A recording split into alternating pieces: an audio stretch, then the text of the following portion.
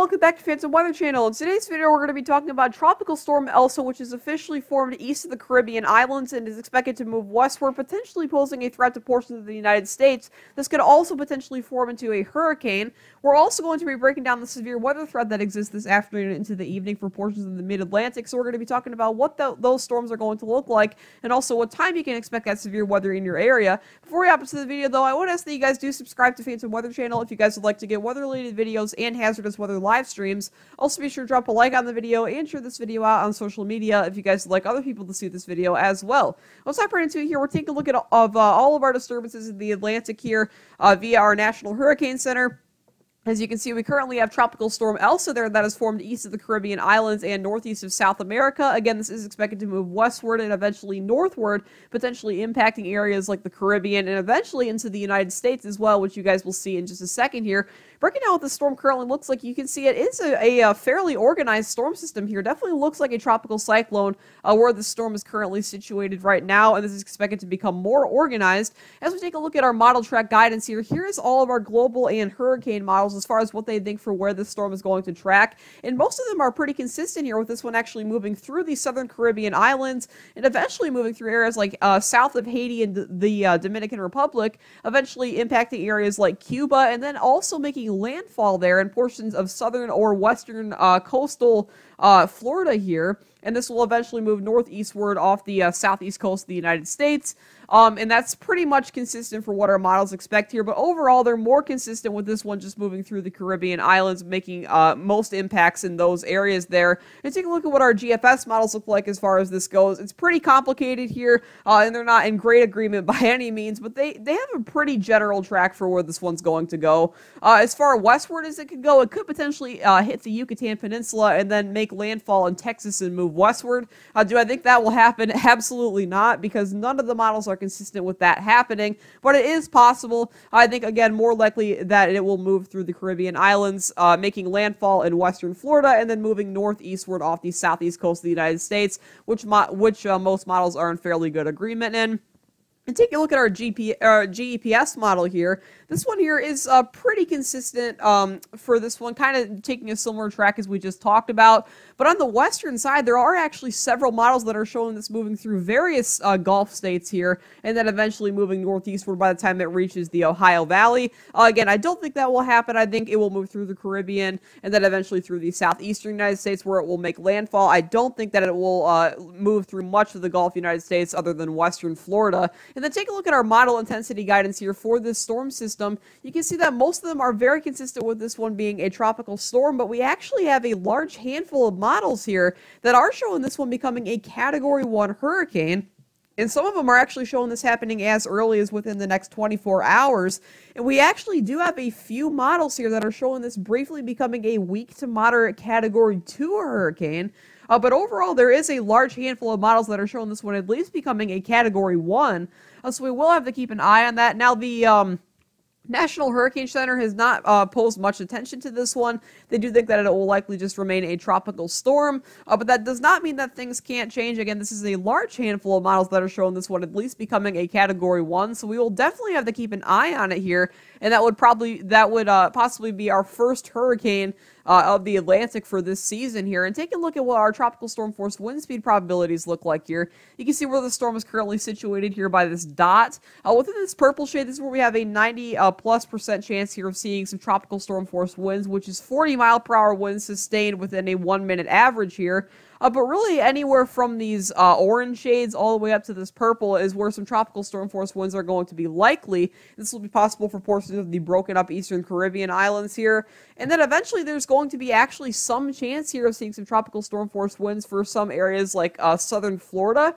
Uh, we see up to a, uh, a uh, 10 to 20% chance here of seeing some tropical storm force winds. But again, if this one does form into a hurricane, uh, which again, it doesn't look like that's going to happen just based on what the. Um, what the National Hurricane Center is saying, we'd probably have higher probabilities for all of our areas here, at least for seeing some tropical storm force winds, uh, but we will continue to keep an eye on it as it moves along. And here would be our potential here of seeing some uh, some damaging winds here. So this is the probabilities here of seeing some 50 knot or 58 mile per hour winds um, within a one minute average here sustained, and that is equivalent to what the National Weather Service would issue for a severe thunderstorm warning, as this is capable of, of uh, causing damage to roofs, siding, and trees, as you probably heard in the National Weather Service warnings here. So there is at least some chance here, a slight chance of that happening for portions of the eastern Caribbean islands, and then extending up through uh, portions of the southern Dominican Republic and southern Haiti. There's at least some chance of seeing some severe winds here, and we don't really currently have much of a threat of seeing some hurricane force winds, but again, those models there are kind of consistent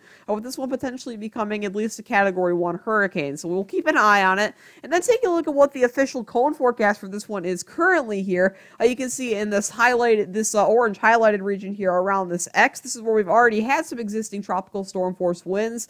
And you can see this is expected to remain a tropical storm at least up until it hits about the Key West area here in southern Florida uh, which would be by about 2 a.m. on Tuesday here. We already currently have some uh, coastal tropical storm warnings in effect here for portions of the eastern Caribbean islands, along with some tropical storm watches surrounding that here. And that is expected to make landfall in those areas here by uh, early on Friday afternoon. So we'll have to keep an eye on that for sure. It looks like a lot of the Caribbean could potentially be impacted by um, the storm system here. It could potentially become a hurricane, but again, uh, the National Hurricane Center has not posed much attention to that happening. And take a look at our severe weather threat here, which will be our second part of today's video. You can see that currently we have a slight risk of severe weather here for portions of the mid-Atlantic states, uh, where some scattered severe storms are going to be possible this evening, or th this afternoon into the evening here.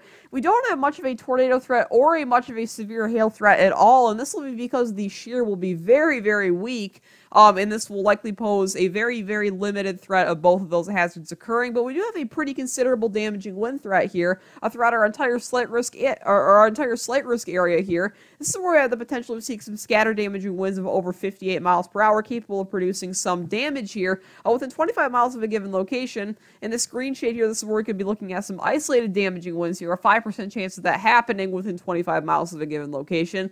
Uh, so really damaging winds will be our only threat with the storms today. And then we enter a very quiet pattern uh, for really all of the United States as far as severe weather goes throughout the course of the next week here. So this could be the last swath of severe weather throughout the course of the next week. And take a look at what the storms look like here. Uh, here would be our CAPE. CAPE stands for Convective Available Potential Energy. It's the measurement of instability and energy in the atmosphere for thunderstorms to occur. The more of it that there is, the more likely overall chance there is for severe weather to occur. If you see over a thousand CAPE, which is indicated by these blue shades and above, there is enough instability for that to happen. And our storms are going to be relatively scattered here throughout the Appalachians into the uh, southern, or just throughout the um, mid-Atlantic states here. Uh, but we do see some favorable CAPE for severe weather to occur, mainly ranging in the 1 to 3,000 range. And take a look at our bulk shear 0 to 6 kilometers above the ground level here. This is crucial in determining supercell formation. Typically, if you see over 45 knots of shear, which is indicated by these pink shades and above, uh, mixing in with storms that are kind of off on their own, which is uh, known as discrete storms, especially in an area of high CAPE, there is a good chance that those storms could become supercells uh, because there is enough uh, rotate, there is enough shear in the atmosphere for those storms to start rotating, uh, which is ultimately what causes those supercells. And where most of these storms are going to be, the shear is going to be very, very slim to none, which is why we have an incredibly low uh, tornado and hail threat. We don't really have much of a chance at all of that happening, uh, but there is maybe some existing chance for some severe weather of that nature to occur. It looks like in portions of northwestern New Jersey and potentially eastern Pennsylvania as well, because we do have some storms there that are going to fire up in that area of stronger shear. Uh, and on the southern side of it, they will be in an area of pretty high instability. Uh, this is by noon at this point here, so we'll have to keep an eye on it. These storms here scattered throughout the Appalachians, I think, are likely just going to be a damaging wind threat, if anything. As we take this to about 3 p.m. here, the Cape is still going to be strong out ahead of the advancing storms, especially in portions of southeastern Virginia. Take a look at the shear at this point. Again, it is going to be incredibly isolated, which will bring us a very low tornado and severe hail threat.